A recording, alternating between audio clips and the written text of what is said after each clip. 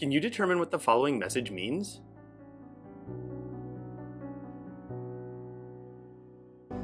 This message has been encrypted using the Pigpen cipher, which is a monoalphabetic substitution cipher. This means that every letter of the alphabet is always replaced by the same symbol. Let's learn how to encrypt and decrypt using this cipher. To use the Pigpen cipher, you need to remember two shapes, a tic-tac-toe board or a hashtag and an X symbol. Then, create two copies of each shape, but in the second copy, fill dots in the openings of the second tic-tac-toe board and second X.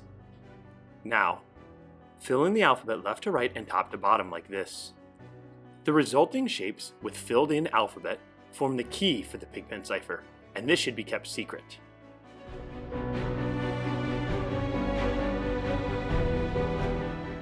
Let's see how to use the key to encrypt a message. Suppose that we want to encrypt the plaintext, how to encrypt. The idea is to replace each letter by the cage in which it resides in the key. So the letter H is in the first tic-tac-toe board at the bottom and is contained in a shape with three straight sides, left, top, and bottom. The O is in the second tic-tac-toe board, so we replace it with its cage of three straight lines with a dot. The W is in the second X shape, so it gets replaced by two diagonal lines pointing down along with a dot, and the T is in the first X shape, so it gets replaced by two diagonal lines pointing right. Now, continue this process for each of the remaining letters in the plaintext, replacing the letter by the shape containing the letter. Here is the resulting ciphertext that you could send to a friend.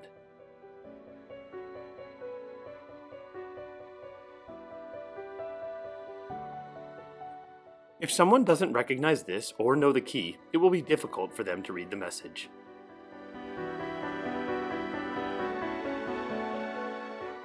To decrypt a message, we simply reverse the process. Take a ciphertext character and look at that shape in the key to find the letter it contains. So to decrypt this ciphertext, first we see the box with four sides is in the middle of the first tic-tac-toe board and contains the letter E. The right pointing diagonal lines with a dot are in the second X and contain an X. The two straight lines with a dot in the upper right corner enclose the letter P the two straight lines with dot in the lower left corner enclose the L. And we can continue this process character by character in the ciphertext to recover the plain text. In this case, we see that the plain text was the phrase explain decryption.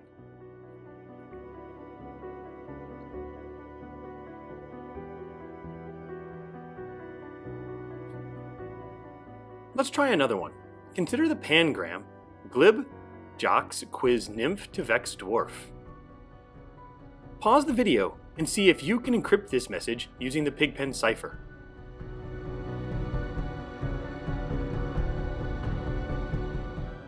Did you do it? Let's check.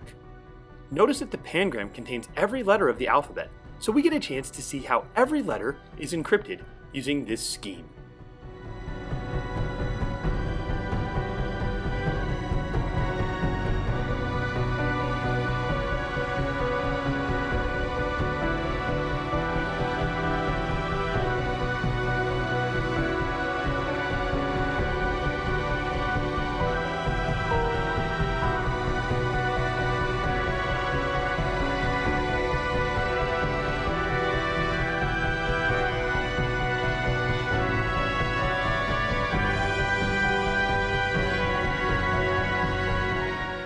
How did you do? Did you get them all correct? If so, you now know how to encrypt using the Pigpen cipher.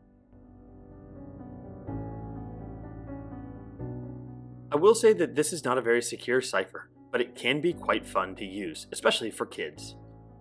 As a final bonus, I will leave you with another encrypted message for you to decipher if you choose.